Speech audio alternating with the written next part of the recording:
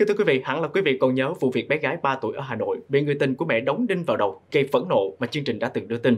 Minh Vương rất buồn khi phải thông tin đến quý vị sau gần 2 tháng điều trị tại bệnh viện Sanbon, Hà Nội thì cháu bé đã tử vong vào tối 12 tháng 3. Nguyên nhân tử vong của bé được xác định là do tổn thương não quá nặng, không thể phục hồi. Trong suốt hơn 2 tháng điều trị tại bệnh viện, không có thời điểm nào châu A cử động tay chân hay có chút tiến triển.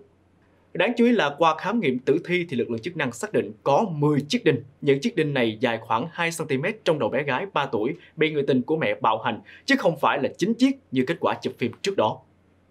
Tối 12 tháng 3, đại diện Bệnh viện Sanh Pôn, thành phố Hà Nội cho biết, sau một thời gian điều trị tại khoa hồi sức cứu nhi, bé gái DNA 3 tuổi ở Thạch Thất, thành phố Hà Nội, bị người tình của mẹ bạo hành, đóng nhiều đinh vào đầu đã tử vong lúc 19 giờ 15 phút cùng ngày. Theo đại diện bệnh viện, dù các y bác sĩ đã tập trung dùng mọi phương pháp cứu chữa, nhưng cháu bé không đáp ứng được và tử vong sau hơn 2 tháng điều trị tại đây. Hiện thi thể của bé đã được chuyển xuống nhà đại thể của bệnh viện và thông báo cho gia đình cùng các cơ quan chức năng để làm các thủ tục theo quy định. Trước đó, chiều ngày 17 tháng 1, Bệnh viện Đa khoa huyện Thạch Thất, Hà Nội tiếp nhận bé DNA được đưa vào khoa cấp cứu.